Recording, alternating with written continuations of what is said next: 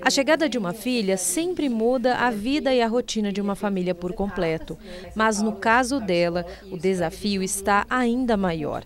É que durante um ultrassom de rotina, os pais descobriram que a bebê desenvolveu uma HDC, hérnia diafragmática congênita. Lá no comecinho da gestação, em algum momento, o diafragma dela não formou corretamente e esse espaço permite a passagem de órgãos do abdômen para o tórax, que é o que está acontecendo com ela, né? No momento já passou alguns órgãos, e como esses órgãos estão passando para o espaço em que deveria estar somente o coração e o pulmão, eles estão ocupando, o coraçãozinho dela está deslocado para o outro lado, e com isso o pulmão não tem espaço para se desenvolver porque está ocupado por esses outros órgãos. Foi a partir dessa descoberta que o casal iniciou uma verdadeira saga, já que o tratamento para HDC inclui uma cirurgia fetal e outra após o nascimento. Sem os procedimentos, as chances dela seriam menores do que 10% com o procedimento intrauterino passa de 50%. Então, assim, dá uma mudança bem significativa na perspectiva dela sobreviver até essa outra cirurgia. Como não é um procedimento que está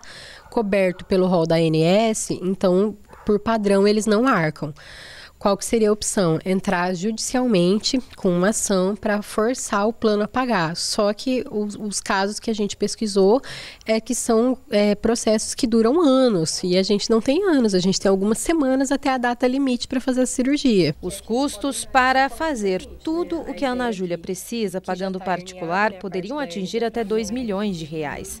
Mas como a chegada dela tem sido cheia de surpresas e solidariedade, o caso foi aceito por um hospital escola em São Paulo, que é referência nesses procedimentos. Todo o tratamento será custeado pela instituição.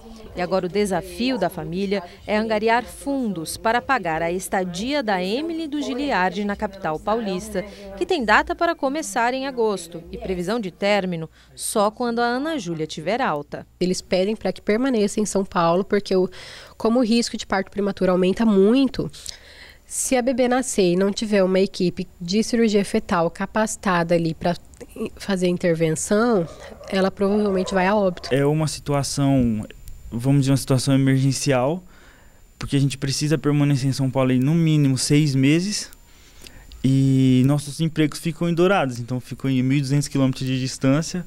A corrente de solidariedade que eles conquistaram já tem amigos, familiares, colegas de trabalho e muitos doadores. A meta é arrecadar pelo menos 50 mil reais e até agora conseguiram 17 mil. Você está ali sentindo o bebê mexer, sabendo que ele está vivo lá dentro, que está tudo que fora esse único detalhe, fora essa questão, ela tá bem, ela tá forte, ela se movimenta, entendeu? Ela escuta, sabe? Não, não dá para simplesmente parar e não buscar.